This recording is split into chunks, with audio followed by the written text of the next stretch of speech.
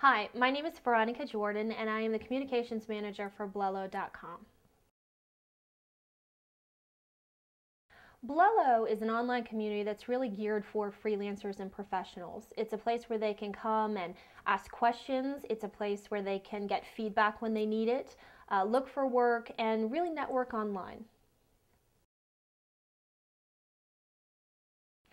We've been working in the freelance world for quite a while now, and one of the biggest challenges uh, for freelancers can be the idea that they're working on projects alone. They don't have a coworker to turn to to ask a question or to get feedback on something they're working on. So we really created Blellow kind of out of self-need. It was a place where we could go to post projects or to ask a question and get the feedback that we needed to continue on. It's it's essentially like an online co-working space. It's a it's a place where you can go and and network and talk with other professionals and if you have a problem, you can ask a question. If you need feedback or an outside opinion, you can get that too. Blellow is really focused for uh, productivity and work. Twitter is great for keeping in, in contact with friends and family, um, but we needed a tool that was a little more geared towards the professional side, towards the work side. So some of the tools that we've actually incorporated into Blellow are things like groups. So now you'll be able to actually target your post and target your question to the people that are most likely to answer them. Um, give you a personal example. I was actually having issues the other day with WordPress. I couldn't get it. I couldn't get the spacing to look just the way I wanted to. Um, and if I'd had a tool like Blellow, if I'd had a place to go where I could post that question, I know that there are plenty of WordPress experts out there who probably could have solved my problem like in two seconds.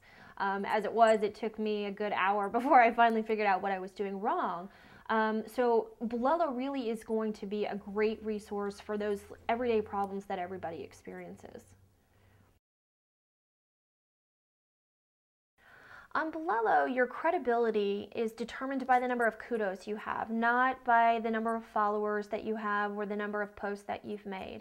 And kudos are essentially our recognition or the community's recognition for how helpful you've been. So if someone posts a question um, or, or asks for feedback and you give them an answer that helps them solve their problem or you give them feedback that helps them to do their project better, they can give you a kudo.